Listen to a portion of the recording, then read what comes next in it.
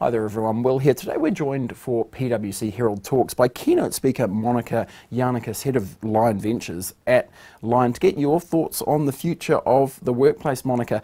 There are a lot of trends obviously in this area. One of the big one that's big ones that strike me in fact is the four day working week.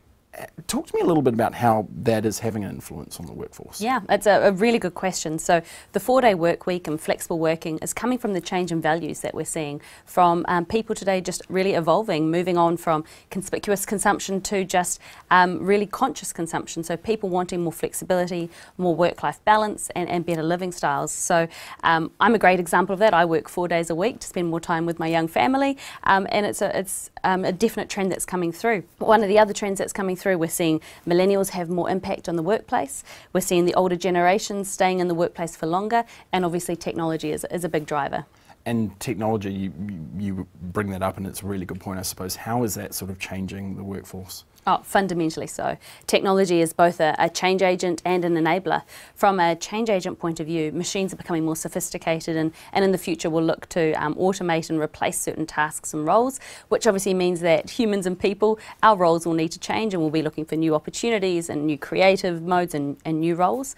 Um, from an enabler point of view, technology is supporting this flexibility that we're looking for. A great example of that is communication tools like Slack, which are supporting people who are working remotely and across geographic disparate areas, so it brings them together and enables them to connect. So people using those mobile devices and stuff like that to be outside the building and, and doing their role outside, but still participating within the workforce. Absolutely, yeah, and, and it's and it's a really positive, exciting thing, what options it creates. What about generational change? Because we talk about that a lot in my other role, in fact, about this idea that millennials perhaps have a very different attitude to the workforce than baby boomers. Is that something that sort of does actually play out in the workforce?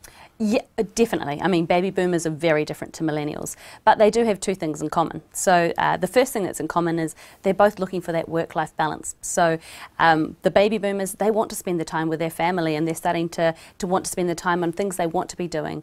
Whereas millennials have also want that work life balance because they want to live the life they want to live. So, um, they've definitely got that in common. And the, the second piece they've got in common is connection, human connection. So, let's face it, at the end of the day, we're all humans and we're all people, and that social connection is, is really really critical. And I suppose we ultimately all have to figure out how to work alongside each other as well. And it's interesting as well because one of the other big trends, I suppose, is the fact that we have these baby boomers who might have traditionally retired wanting to stick around in the workforce a bit more. Yeah, and, and that's a really exciting opportunity for businesses.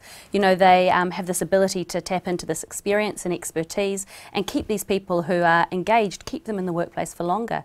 The um, opportunities for businesses are to think about what policies to put in place to support this generation. So you know, what opportunities around mentoring can they create to, to enable that experience to be passed on, and also around flexibility, again, in their roles um, of what that could look like. And what about a couple of key things that businesses could do to retain or attract talent, right? Because I guess one of those, that is one of the big trends as well. We have a workforce that moves around a lot more than traditionally. Mm-hmm. Perhaps you got a job and, and, and, you know you stayed there right through. Mm-hmm. And no, you're right. And the most successful businesses of the future are the ones that are going to attract and keep the top talent. And the best way to do that is to have the best workplace. So that all really starts with the values and the purpose. So increasingly, people are more concerned about the values that they're working for the company that they're working for. So how can we make sure that these um, these companies and, and general businesses, you know, how can you make sure your values are really transparent and they resonate and that people align with the purpose of what you're working for? Equally, how can you make sure there's flexibility going on in the workplace and technology? How can you stay abreast of technological changes? And, and obviously, there is these kind of dual mandates, right, where we want to give people more freedom to work outside the office, but at the same time, we need to keep people connected within the office and keep those lines of mm. communication open. So, how do you kind of do that? What's what's tips there to do that? Yeah, uh, yeah, really good question. And again, it comes back to what I mentioned before around your values and your purpose. So, firstly, you want to have those aligned, and then secondly, you want to be able to give tools to enable people to work remotely or flexibly. So, again, the communication tool I talked about, um, being supportive policies and, and, enabling that, but then also creating a culture so that people can come into the environment, to, into the workplace.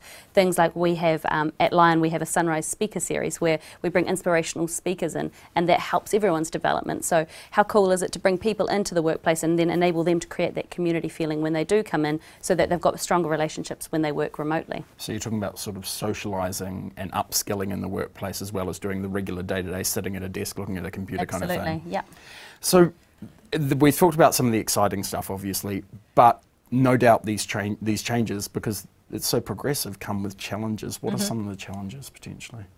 Uh, the challenges around the roles changing and how do you make sure you take people along on that journey. So, as machines become more sophisticated, we talked about that, replacing general tasks, autonomous more roles. How are we taking people on the journey and, and skilling them up and, and moving them on? Um, and there's a world of challenges around, around the likes of that. Um, so, that's a challenge. Businesses staying on the forefront of technology and, and continuing to be a place that attracts top talent. Well, those are some great tips there, Monica. Now, you can get so many more tips actually with PwC Herald Talks. It's on the 30th of May. If you go to pwcheraldtalks.co.nz, you can get your tickets now.